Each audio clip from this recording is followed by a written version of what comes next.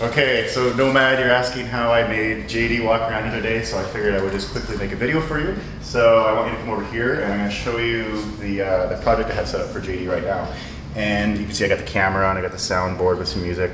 I also have the RGB animator, which not a lot of you have seen yet. So for example, I can edit here the, uh, the RGB LEDs. I can add a new action and I can call it Nomad, for example. And then I can add a new frame and I can select some eyes and then I can, in real time, change. You see I'm changing the lights, uh, the eyes here. I'm also changing them there as well. So you see that? And then I can create another different, couple different frames off here. And I can make them a different color, each one. And make another one. And I can change its color as well. And then I can specify the pause time of each one of these. And then I can specify it to repeat and I can say save, and then when I play it back, there's our little Nomad eye script that we set up.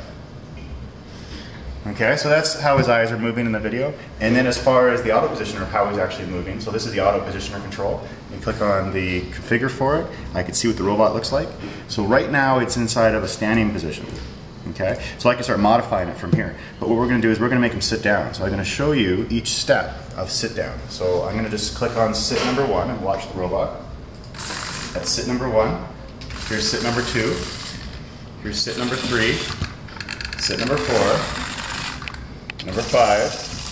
And that's where he sits. So if I wanted to modify from this position, I have sit number five already specified. So what I could do is I could specify sit number, I could call it sit wave one, for example. We'll make him wave while he's sitting down.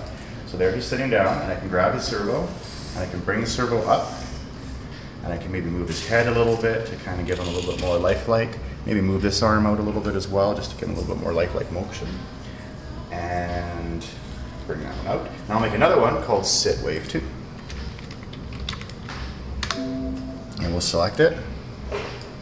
And you watch here, I'm going to move his arm in. And I'll move this part in as well. I'll move this one in a little bit. I'll move his head a little bit that way. There. So now we have these two positions called sit wave one, sit wave two. So I go to actions, create a new action, and call it sit wave. Select sit wave. And then here in my list of all my different, uh, different frames, I have sit wave one, sit wave two, sit wave one, sit wave two. And then when it's done, we'll go back into sit five, because that's where you're sitting down. And we want this to also maybe speak and have the robot say something. So I can have a script that will run when, the, when this action is executed. So if you look here, I'm going to type in say, EZB, hello world. And I'll save it. I'll save it. So now, when I click on here, sit wave, you can see it there. But we're going to focus on the robot now because I'm to push the execute button. And now he's to do his wave. And you might have been able to hear him as well. So if I get him to stand up,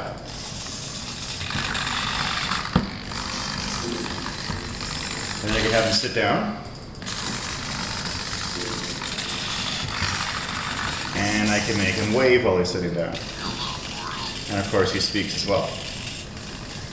And his eyes are still moving, doing the animation. And as you saw, there's a few other ones I've made, like the handstand and push-ups and stuff. And that's no different, just different animations. Just put it together and off he goes. So here's, here's his handstand.